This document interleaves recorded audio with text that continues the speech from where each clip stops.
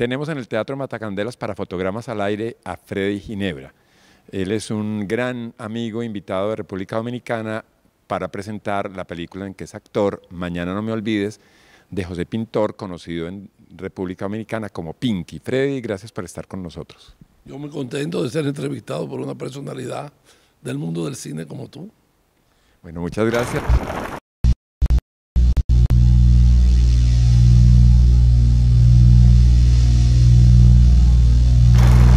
Eh, Freddy, ¿qué podrías inicialmente decir, no de este proyecto, sino del proyecto en el cual ibas a hacer una escena de cama y que por alguna razón no hiciste? No, sí la hice, sí la hice, claro. Lo que pasa que es en un motel, es eh, un anciano, se le muere la mujer y lleva el cadáver a ese lugar que fue el primer lugar donde se juraron amor eterno. Y es una historia un poco tenebrosa, pero es una linda historia de amor. Eh, que la gente cuando lo vea va a entender. Si yo conté que estaba muerta, tú no lo sabes hasta el final. Pero en el caso mío, yo me encargo de todo, la visto, la cambio, mi cadáver, la acuesto y al final le digo vamos a estar juntos hasta la muerte, que la muerte no nos va a separar. Se supone que el viejito también se suicida y se, se va con ella. Bueno, en, esa, en ese contexto, Freddy, el cine dominicano ha tenido un gran ascendente en los últimos 10 o 15 años, producto, tengo entendido, de la ley de cine que el abogado que hizo la ley de cine colombiana ayudó. Eh, la película de Pinky en, en, ese contexto, ¿qué le ha pasado en el mundo dominicano, pero también en el extranjero? Bueno, la película, esa última que hizo Pinky, ganó premio en Roma eh, y ganó premio Mariposa en Cuba y se, se acogió también a la ley de cine. La película está girando, está asistiendo a muchos festivales, eh, fue finalista ahora en el premio de cine nacional que se da. Y, nada, una película diferente, eh, trata sobre las dos personas, ambas, con problemas muy serios. Uno, uno con un problema muy serio, no, con una condición de vida. Porque yo aprendí en la película que el síndrome de Down es una condición de vida, como es ser diabético, como es ser ciego. Tú tienes síndrome de Down y vives con esa condición. Y el Alzheimer sí es una enfermedad. Y en la película, pues yo soy un anciano. No sé por qué me eligieron, porque pude haber hecho un papel más de galán, pero nada. Dijeron que yo no tenía que hacer mucho esfuerzo, que, que el papel me venía como anillo al dedo. E hice el, ancianito con, con Alzheimer, que es el abuelo y la relación entre los dos, que es una relación muy linda, muy íntima y que va creciendo según se va desarrollando la película. Y si tenemos en cuenta que hay un personaje que tiene síndrome de Down, eh, sé que conoces a, Beatriz Duque, que es la directora del Teatro del Grupo aquí en Medellín.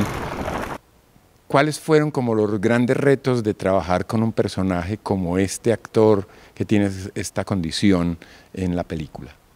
Mira, si te cuento la verdad, es que él me ayudó muchísimo a mí como actor. Se sabía su papel de memoria. Llegaba al estudio igual que yo a las 5 de la mañana, que nos recogían y me decía, abuelo, te voy a decir abuelo todo el tiempo para acostumbrarme. Y ya hoy por hoy acabó la película y sigue siendo mi nieto y yo sigo siendo su abuelo. Y lo más lindo de todo era que él, cuando no le salía el papel, pedía excusas y decía, lo voy a volver a hacer. Y el director, que tiene un gran mérito en este caso, trabajó con mucha paciencia y se repitieron todas las escenas, pero el que se equivocaba era yo. Él no se equivocaba casi nunca. Es un ejemplo de trabajo serio. A mí me emocionaba cuando terminábamos las escenas. Yo lo besaba y lo abrazaba 30 veces, porque de verdad que ese joven se esmeró, ya lo verán cuando vean la película, es impresionante. Él es, él es el éxito de la película. Y el conjunto de la película, eh, tenemos una familia, ese abuelo que tiene esa condición de, de, perder la memoria y ese nieto que tiene la condición de síndrome de Down, el conjunto de la película, Freddy, ¿qué sentiste primero cuando te presentan el guion y la reacción del público cuando ven la película, que son dos cosas distintas. Uno ve el, ve el guion y dice me interesa y el trabajo en la película podría no llegar a ser lo mismo que el guion. ¿Cuál es la percepción que tiene el actor y ya el espectador al ver el, el- lo que, en lo que terminó el producto? Desde que yo leí el guion, me encantó. Y pensé que yo no iba a poder hacer esa película, porque exigía muchísimo. Pero luego yo tengo un niño dentro, ya le contaba anoche, que me dice cada vez que hay un reto como ese, atrévete, atrévete, esta es la gran oportunidad de tu vida, atrévete. Si haces ridículo, pues eso queda ya sepultado, hiciste ridículo y se acabó. Hay tanta gente que está muerta y no lo sabe por no haberse atrevido nunca a hacer cantidad de cosas. Pues yo la hago. Entonces lo leí, me maravilló y dije, vamos por parte. Era mi gran experiencia en el cine, mi primera gran experiencia en el cine. Y yo no sabía que había tantas facilidades. El teatro es mucho más difícil. Entonces yo dije, no, aquí yo voy. El director muy comprensivo. Las escenas más difíciles son las de violencia, porque yo no soy violento. Entonces me costaba muchísimo trabajo hacerla. Pero él me, me preparaba bien. Decía, vamos a ver, tiene que molestarte, tiene que molestarte. Y yo fui creciendo ahí. Luego, la reacción del público. Mira, cuando yo no, a mí no me gusta verme en la pantalla y, no me veo porque me, me molesto. Entonces yo, eh, cuando fui al estreno de la película, la gente lloró tanto y se abrazaba a mí porque les alegraba ver que yo estaba sano cuando salían y me veían. Entonces yo me ponía a llorar con ellos también porque, ¿qué vamos a hacer? Hay gente que ha visto la película tres y cuatro veces y, la película hubiera quedado mucho más tiempo en cartelera. Lo que pasa es que en mi país ya hay demasiado cine dominicano. Te dan seis semanas, por ejemplo. Y aunque la película sea lo que sea, hay que sacarla. Yo hice una película a principios de este año y es el año que viene que la van a estrenar porque no hay espacio. Entonces lo que están haciendo los directores dominicanos, que las mandan fuera, por ejemplo, hay dos películas que han ganado muchos premios. Cocote, Carpintero y Miriam Miente, que es la última que se está presentando en Londres ahora. Y, no se han estrenado y tienen dos años de hecha, pero están en el mundo rodando y cosechando lauros para el cine dominicano. Eso me llena a mí de orgullo y de alegría. Y hay cantidad de jóvenes nuevos, talentos jovencitos que no llegan a los 30 años, ¿eh? que están haciendo un gran cine. Casi todos se han ido a estudiar a Cuba, se han ido a estudiar a España, han ido a estudiar a Argentina y regresan cargados de ideas. Hay más de 20 películas por estrenar este año. Por 20 películas por estrenar. Y algunos con temas bien escabrosos. Vamos a ver cómo reacciona la gente. Ya la, la gente no se conforma con hacer. Hay muchos que hacen las comedias de siempre. Y hay un tipo que hace comedias que son, él sabe que son garantía. Y hay mucho de eso. Pero hay muchos otros cines buenos y serios. Y mencionabas una cosa que me interesa muchísimo. Hay una diferencia entre el cine y el teatro y decías que es tu primera gran experiencia en cine, que te, se- te sentiste cómodo. Tres cosas que sean así muy claramente diferentes y que te parecen que facilitan la vida en el cine distintas a las del teatro. La diferencia son, mira, en, en cine es paciencia. Los dos elementos que tiene que tener un actor en el cine es paciencia y concentración. Marlon Brando decía que a él le pagaban por esperar. Así es. Tú te pasas a veces horas en el, en el camerino esperando que te llamen. Piensa que las películas se hacen con una sola cámara y los planos cambian. Tú tienes que salir de ahí. Por ejemplo, en la última película que yo hice ahora, que es la del motel, hay una escena muy dramática donde yo tengo a mi mujer muerta en la mano y ella quería que yo llorara. El anciano llora.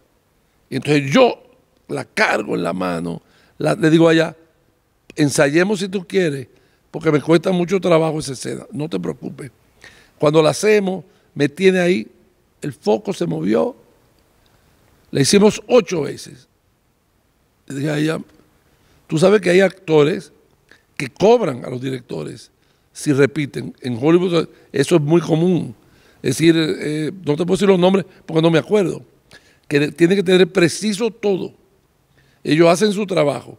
Pero si es una equivocación técnica, le tienen que pagar extra al, al- actor. Entonces, en nuestro caso no es así.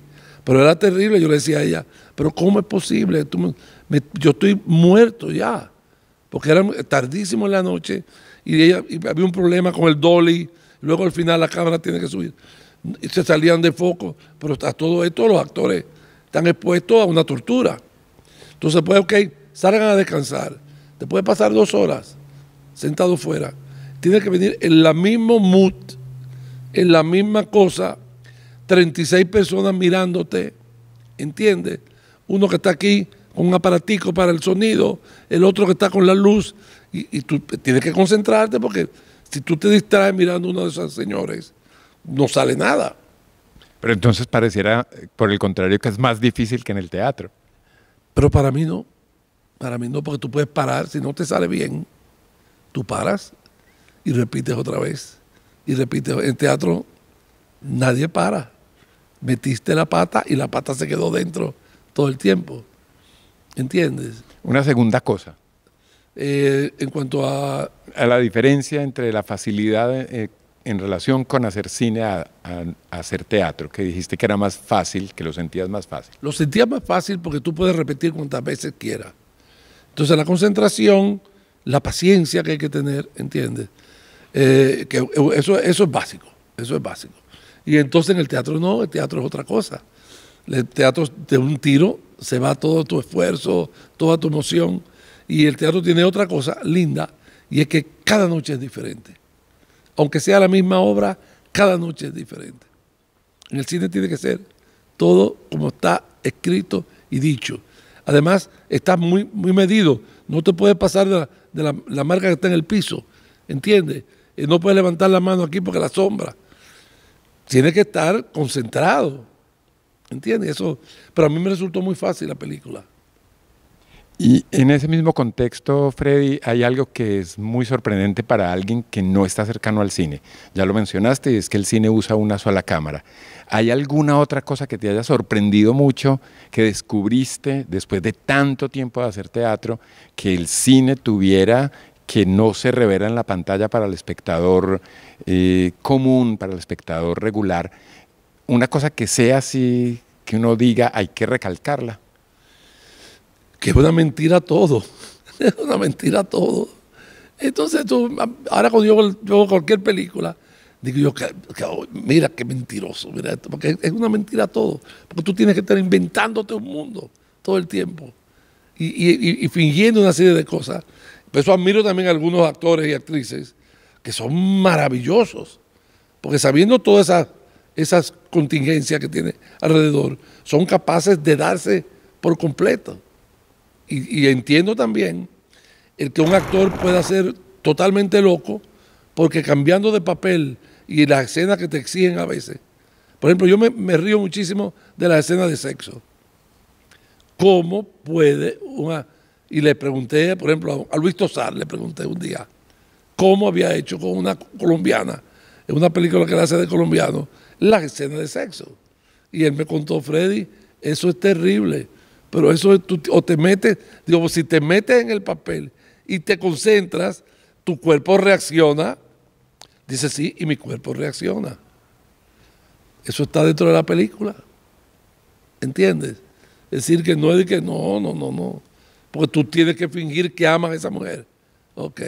Pero de tanto fingir el amor, algo pasa. Bueno, em, para terminar, Freddy, de nuevo muchas gracias. Quisiera que esta vez le hicieras una invitación a tus compatriotas, a los dominicanos, para que vean el canal en YouTube Fotogramas al Aire.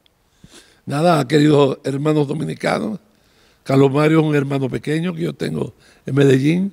Síganlo siempre en YouTube, Fotogramas al Aire. Y esta vez me ha honrado con llevarme él a su pantalla. Véannos. Bueno, y los invitamos además de nuevo al, al taller que Casa Teatro El Poblado en Medellín está ofreciendo a partir de el 17 de septiembre, seis sábados de 10 a 1 de la tarde, en lo cual estaría hablando de unas diferencias de Hollywood con tres grandes maestros, Satyajit Ray de India, Teo Angelopoulos de Grecia y Andrei Tarkovsky de Rusia. Hasta pronto.